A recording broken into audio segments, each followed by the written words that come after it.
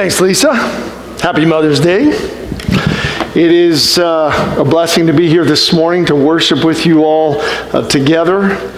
I uh, hope that life is going well for you, and if it is or if it isn't, it's good you're here today because I believe God has a word for you and for me uh, this morning to impact our lives. One of the most, before I uh, start the sermon and while the little ones uh, head on their way, uh, one of the things I want to mention is you all know one of the most important things we can do is prepare the next generation to know Jesus and love Jesus and be equipped to share Jesus with others. And that being the case, there's one right now. Uh, that being the case, um, our children's ministry directors have brought up to my attention that there are lots of opportunities still available to help out with Vacation Bible Adventure. Uh, in other words, if you could uh, contact either Tracy or Ruth, or if you don't know Tracy and Ruth, just contact our church office. And um, there's stuff behind the scenes. There's uh, stuff during the Monday through Friday. You might be able to help out all five days or just a couple days. But it really helps now if you can kind of kind of commit and say, hey, this is where I can help out, so that we don't. Uh, so you know, the more they can plan in advance. Last year we had what we have 200 children, and this year we're expecting that many or even more. And so it's just a lot of kids takes a lot of effort. I know you all know this, and I'm guessing most of not all of us here thinking, yeah, I'm going to help out, but maybe just haven't signed up yet. And so if you could do that, that would really help the ministry here for that, that important ministry. Today we're continuing the sermon series on through the book of Ephesians, with the emphasis being what does it mean to be the church? As God spoke through the Apostle Paul, and he wrote this letter, he's saying this is what it means to actually be the church. And today we're looking at a portion of, of chapter 2. Um, I want to encourage you before next Sunday, read through Ephesians 3. Just take you a couple minutes, read through it a couple times, because if you do that, then when you uh, come and hear, and actually Ethan Morris, uh, Ken Cecil's son in law, is going to be here next week presenting a portion of uh, Ephesians chapter 3. So come kind of ready to hear what uh, God is going to say through him for that. Uh, today, again, is chapter 2, and I, I uh, made the subtitle Being Raised from the Dead. And, and here's the main point point for today's uh, message. It's this God's saving love. God's saving love is a gift. Uh, you don't have to do good things so that God will love you. And as obvious as that seems, so many people uh, haven't embraced that yet. And so we have to bra- embrace that as a church so we can demonstrate what it means to live with the freedom found in knowing that God's saving love is a gift. The key verses this morning are from verse 8 and 9 of chapter 2. And, and you know, this is just two verses, and y'all will just kind of engage here. Would you read these with me this morning? So here we go. For by grace you have been saved through faith. And this is not your own doing. It is the gift of God, not a result of works, so that no one may boast. Well, there we go. Let's pray. God, as we gather this morning, we thank you, Lord, for this another day that you've given us. And today we're especially mindful, Lord, of the, of the role of mothers in the life of our families and our communities. And we thank you, Lord. We know some, uh, we all had mothers that are imperfect in some way. And some may have done a better job than others. But Lord, we're just so thankful for, as, uh, as Laura said, the many ways that they extend love and sometimes, too often, are not thanked. And so this morning, let it be that we gather together and say thank you for these women who, have, uh, who play such a vital role in the life of marriages, families, uh, churches, communities in the world. Jesus, we pray this in your holy name. Amen. So, yeah, definitely happy Mother's Day. You know, one of the things that kind of came up just a couple weeks ago that I wasn't quite expecting, my own mother is here with us today. So, hi, Mom, not to put you on the spot, but we're glad you're here. Can y'all welcome her today? Love you. Glad you're here. Dad's here as well, so it's a blessing. Uh, Mom and, and my wife Beth went yesterday to a bridal shower over in Columbus. Our second son, Craig, is getting married in November. I get to conduct the service. That's going to be pretty cool in Columbus. And they had a bridal shower yesterday, so that brought them here. But um, I know uh, I know Mom and Dad can remember some years ago, before some of you existed, but not all of you, 1965 to 1968, we lived in Fostoria, Ohio. Anyone here know where Fostoria, Ohio is? Anyone? All right, all right, there's a few. Just slightly northeast of Findlay, a little ways. You go up 75. There, I was, uh, I was age five to eight during that time. And one memory I remember, I, I went to Field Elementary School. And in second grade, oh yeah, recently I drove through Fostoria and Field Elementary School has lived up to its name. It's literally a field now. There's no building there. But there used to be. There used to be. And one day when I was in second grade playing on the playground, before we had all the safety rules, you can see there, um, uh, all of a sudden a shadow came looming over me and I looked up and there was the dreaded Mrs. Muma. I remember that name, Mrs. Muma, fourth grade teacher you wanted to stay in the good graces of Mrs. Muma or just stay away from her. She must have been on playground duty that day. And she says to me, she looks over and says, So, Sonnenberg, huh? Uh, are you as smart as your older brother? And I, you know, today I might say, is this a multiple choice question? But I just kind of like shrug my shoulders and she goes, well, I guess we'll see. Whew. The next year, by the grace of God, we moved from Fostoria to Columbia, Tennessee. Thank you, Jesus. And but you know that question, are you as smart as your older brother? For some reason that got re- put in one of the recesses of my brain that hits play over and over and over again. And it began to repeat. And so and the way it kind of developed was this way. Oh, if I perform well, then I gain people's approval. If I do things well, then people will love me. Sometimes we call this people pleasing. Um, and uh, maybe uh, some of you all can relate to it. Now, the, the good news is today, you, whether it's today today or in these days ahead, if you, some, if you hear someone at Bethany say, you know, Doug did this and I am not pleased at all, what you can respond with is, praise God, he's getting better.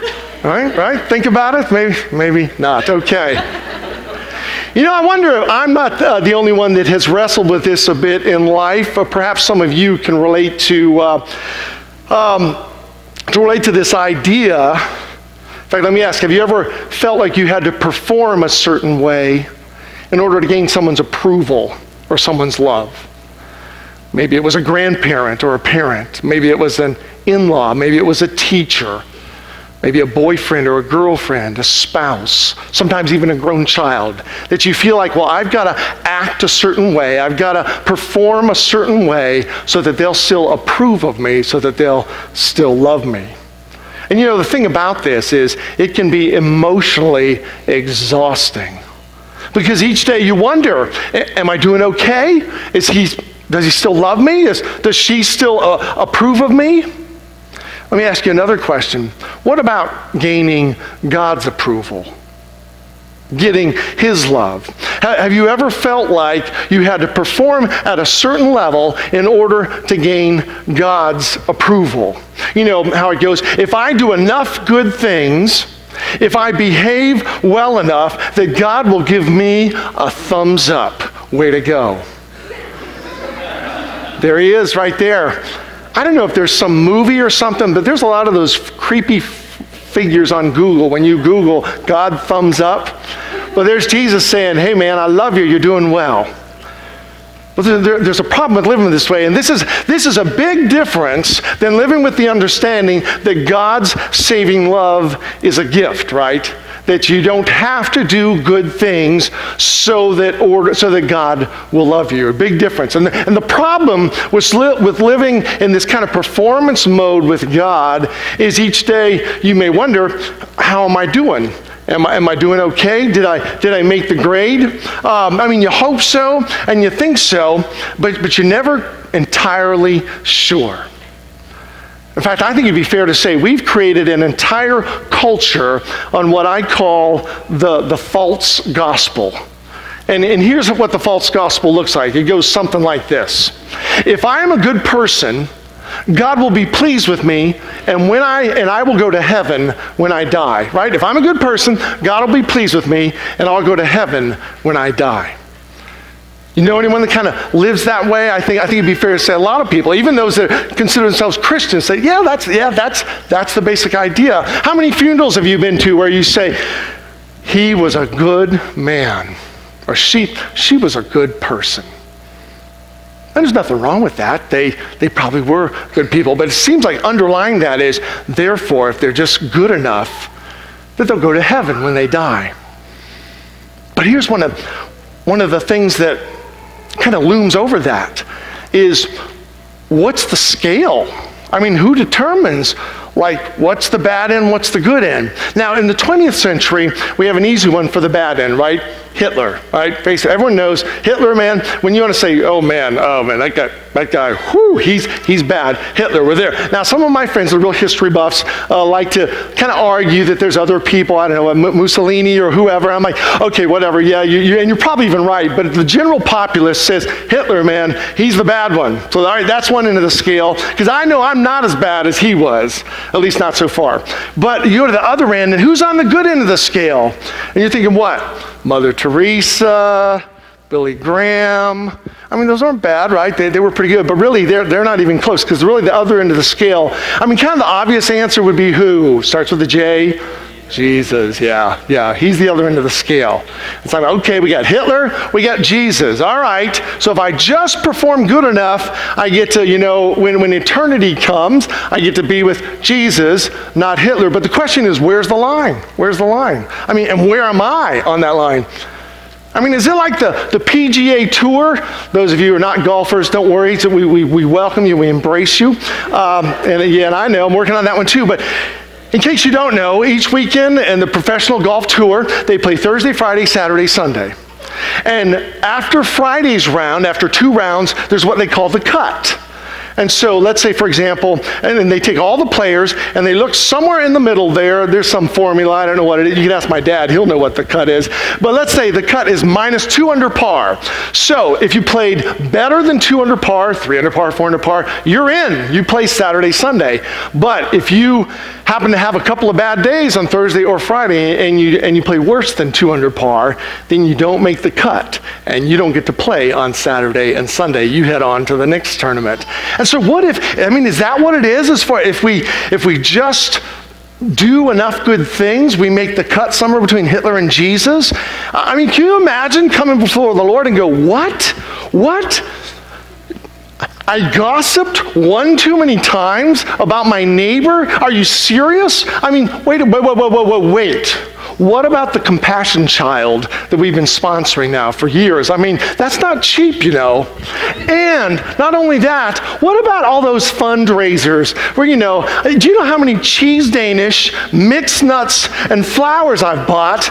I don't even like mixed nuts, but so that my neighbor kid can get a baseball uniform or the neighbor girl can go to summer camp? I mean, what do you mean I gossiped one too many times? I didn't make the cut. What's that all about? You know, fortunately for us today, we're not the only ones that have kind of wondered about this. Way back in the first century, people were asking the same type questions. How good is good enough for God? In fact, the little booklet that we have at our Welcome Center for first time guests, Andy Stanley talks about that. How good is good enough? And today in Ephesians chapter 2, we're going to just look at 10 verses that, uh, that address this question that brings about the reality that it's not a matter of being good enough. God's saving love is a gift. So I've divided it into three sections. We're going to kind of talk through it now. Hang with me as far as the bad news, the walking. This first paragraph is kind of the bad news. Sometimes people have said, man, you, you get me so down, I can't listen to the rest. Well, hang in there because there's always good news. There's every week there should be good news. So here's the bad news as Paul writes to this church about what it means to be the church. He says, and you were dead in the trespasses and sins in which you once once walked. And, and people even then might say, what do you mean I'm dead. I'm living. I'm breathing. I'm eating. I'm sleeping. I'm, I'm awake. Well, we're talking about your spiritual life here. Because in life, we're spiritual beings that now have a physical body, but our spiritual life will go on after this life. And you either go on to a path of darkness and death or to a path of life. And Paul says, You were dead in the trespasses and sins in which you once walked. And he says, Here's what I mean by that you were following the course of this world. He's saying the way the world naturally goes is in opposition to how God wants you to live. We get examples every day. I mean, I won't go into all the details, but I'm guessing you're somewhat familiar with recently. Some politicians in New York State and Virginia had conversation about the value or not of a child even when they're born. I mean, I, mean, it's like, I can't believe we're even having this conversation. Well, that's called following the course of this world. Following the prince of the power of the air. That's probably the nicest title in the Bible for Satan, uh, the devil, the evil one. So, following the prince of the power of the air, the spirit that is now at work in the sons of disobedience or children of disobedience. Jesus said, If you love me, in John 14, 15, he says, If you love me, obey my commands. That's how you express your love for Jesus. You obey my commands. And so Paul's saying, You all were living as sons and daughters of disobedience, among whom we all once lived in the passions. Here's how it kind of plays out the passions of our flesh, carrying out the desires of the body and the mind. I have certain desires. And if I ignore and say, I just want to do my desires, rather than, well, what has God said about the desires and how I follow through on those or not? He says, You were just carrying them out. And the mind, and we're by nature children of wrath or punishment. Whose, whose punishment or wrath? Of God's wrath or punishment, just like the rest of all mankind. But the good news is this. But God, being rich in mercy, because of the great love with which He loved us, now, catch the timing on this. Even when we were dead in our trespasses, made us alive together with Christ. It's saying that regardless of the stuff you were doing, good or bad, God just loved you. He just loved you. And He looked down at the world and said, Because I love you, I'm going to make you alive in Christ. I'm going to send my son. He'll set the example of what it means to live as a son of obedience. He'll pay the price on the cross for all of our sins and trespasses so that you, if you receive what he's done, then you can be made alive together with him. By grace, that means undeserved love, you've been saved and raised up with him into everlasting life rather than death, and seated us with him in the heavenly places. I mean, there's a literal banquet hall in heaven that's being prepared. And when you receive God's gift of saving love through Jesus Christ, a little name card is put at your seat uh, that says, when your time on earth comes to a close, you've got a seat at Christ's heavenly banquet. It's going to be a party like uh, unlike any other parties.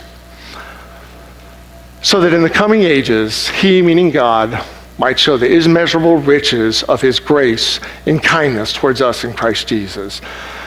So that people can look and say, wow, God was so kind, and, and that he extended this gift of love. And that brings us to the verses we started with today. For by grace you've been saved through faith. It's not your own doing, it's the gift of God. It's not a result of works, so that no one may boast. God knows that if He did make this, this system with a cut somewhere, that those who made it would start bragging about it and get arrogant. So that's not the case. For we are His workmanship. In other words, God made us. He created us in Christ Jesus, and He did create us to do good things, good works. He prepared them beforehand that we should walk in them. And so, catch this this morning God's saving love is a gift. Does God want us to do good things? Of course He does. But He doesn't want us to go through life trying to do enough good things so that we get His approval, we make the cut, we go into heaven. He said, forget all that. Here's my love in Jesus Christ. Just receive it. And then, then do the good things that I want you to do. You know, I said earlier that um, we had that false gospel.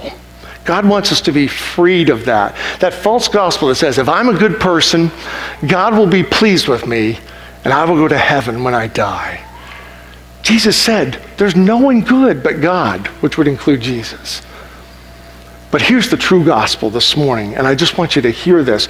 Based on Ephesians 2 1 through 10, here's the true gospel, what God's telling us. It goes something like this I wasn't a good person, but God loved me anyway. He reached out to save me, and when I took his hand, something in me changed. And I realized I could never have earned his love. I didn't have to. He was giving it away. Now I want to do good things with God for God, today, tomorrow, forever. Thanks, God. Thank you. This morning, um, I want to give you the opportunity if, if you want to experience this closeness with God and just know, you know what? I could never measure up to be Jesus myself. And God is saying you don't have to. I want to invite you this morning. We're going to go back one slide. Can we go back one slide? And I just want to invite us, anyone here, and I hope that's everyone, just to say, Thank you, God, and to read this together. This is the story of your life because it's certainly the story of mine. Let's read this together. Here we go. I wasn't a good person, but God loved me anyway. He reached out to save me, and when I took his hand, something in me changed. I realized I could never have earned his love. I didn't have to. He was giving it away. Now I want to do good things with God, for God, today, tomorrow, forever. Thanks, God. Thanks. Imagine a world, imagine a world where every boy and girl, every man and woman realize that and receive that can you imagine the freedom from anxiety, from anger, just knowing that God loves me? He changes me, and then I want to do good things.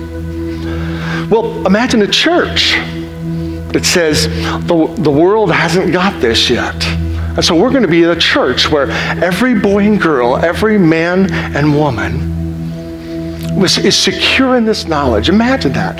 a church where every person here knew God's peace and, and this security that his saving love is a gift. I don't have to earn it. Think how this would begin to impact marriages and families and friends at school and, and coworkers and bosses and employees. No more frustration of trying to be a good person by doing enough good things. Instead, knowing that God loves me, I just want to do them out of a thankful heart. We, as disciples and disciple makers, we call this living in thankful obedience. As we know that God's saving love is a gift, you don't have to do good things to earn His love. Well, as we wrap this up this morning in prayer, I want you to just really just think about this this morning because we all have our baggage in life. And God is saying, I'm well aware of that. And you know what? I love you. And I want you to be freed from the guilt of that. That's why I sent Jesus.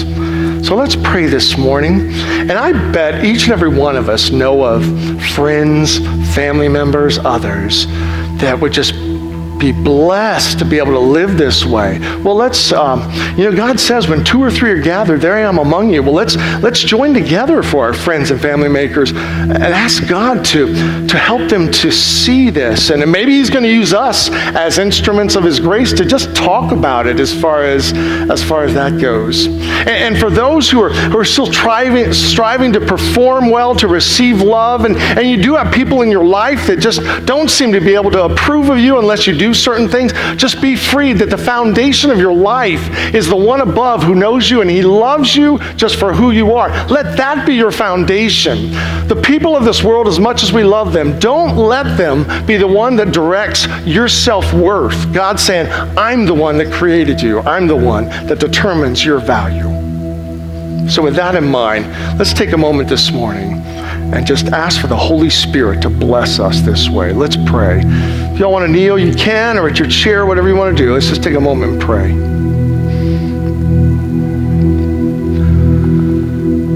God, as we come before you today, Lord, we're praying this morning that we would be freed of the things that may bind us, freed of, of, a, of a way of thinking and being that is, is destructive and, and, and discouraging. And so, Lord, help us uh, with this idea of having to perform or do things in a certain way, Lord, that in order to gain someone's approval, let, let's just let that go. And this morning, Lord, we hold your words of truth for grace. By grace, you have been saved through faith. Not by anything we've done, it's a gift of God. And so this morning, Holy Spirit, come and pour into the hearts and minds this gift of God to each man and woman here, each boy and girl. That we would begin to realize more clearly what it means and that we are loved beyond measure by the Father in heaven who created us and gave us life by the one who sent his son Jesus to pay the price for any of the junk in our life. Lord, let it be this morning that we receive that. And we know we're a, we're a beloved child of God. And then, Lord, we also pray this morning for friends or family members or coworkers or who are, who are even who might be tormented by the inability to be released from this. Lord, we believe in Jesus' name through the power of the Holy Spirit, you can release them. And so we pray, Lord, that they would receive the, the, the knowledge that they're loved because of who they are and in a God that sends that love. And Lord, if, if you're going to use us as mouthpieces to have conversations, then Lord, help us just to trust in you and to demonstrate I love you just because of who you are. Help us, Lord, again to live as the people that demonstrate we are far from perfect. But the reason we have joy and peace and love in our hearts and in our actions is, is because we know it's by grace we've been saved, that God's saving love is a gift. We praise you, Jesus. We thank you so much. Thank you this morning for the chance to be here. Bless mothers and fathers and sons and daughters. All in your holy name we pray. Amen. Amen. Amen.